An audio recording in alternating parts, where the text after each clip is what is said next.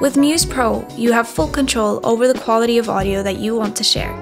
Go to Settings, Audio, and explore the options in the Device Settings menu next to your selected input.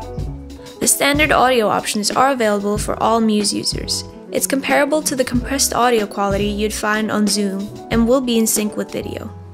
You can also share high quality audio, but only have access to the first two channels of any device when using standard audio. You may also notice audio speeding up, slowing down, or lowering in quality if the network connection is unstable. Voice call under standard audio is the most basic option.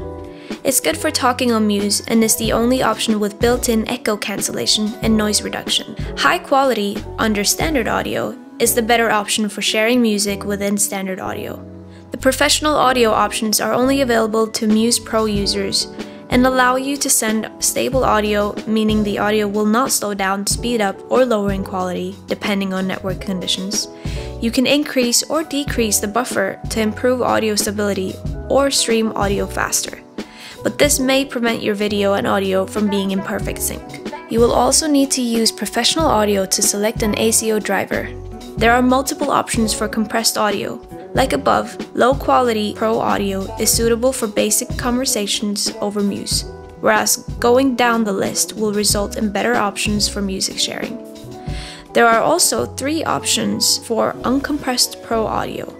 These deliver lossless, uncompressed audio designed for detailed audio work such as mixing, music production, or recording. At 16 bit depth, you can already expect high quality audio.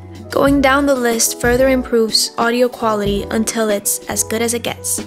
Please note that lossless audio uses a lot of bandwidth, so you may run into issues if you share too many lossless audio streams.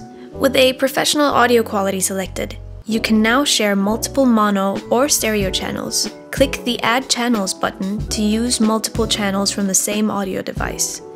To access more advanced settings, click on the Gear for Device settings. Here, you can adjust the buffer. A larger buffer will result in more delay but less audio dropouts. A smaller buffer will result in faster audio sharing but with more audio dropouts. Depending on your internet speed, you may have to increase the buffer when streaming lossless audio to prevent dropouts. For sample rate, the higher you go, the better the audio quality. You can increase the sample rate to your liking you will only see the sample rates compatible with your device listed. For additional tips, check out the Muse Pro guide linked right below.